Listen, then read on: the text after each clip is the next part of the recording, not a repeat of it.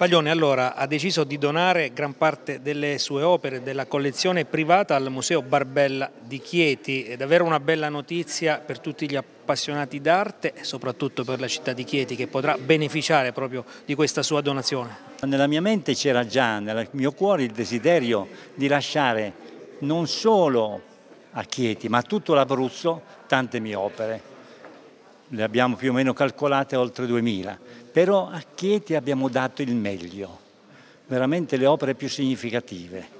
E questa del Barbella è la collezione veramente più prestigiosa che abbia messo insieme, perché ci sono dei capolavori che non sono neanche nel resto dell'Italia.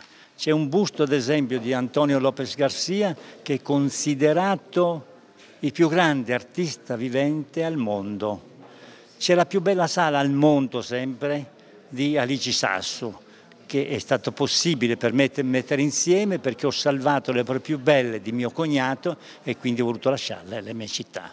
E poi tante altre opere, da De Chirico a Manzù, a Marino Marini, Guttuso, tutti i più grandi.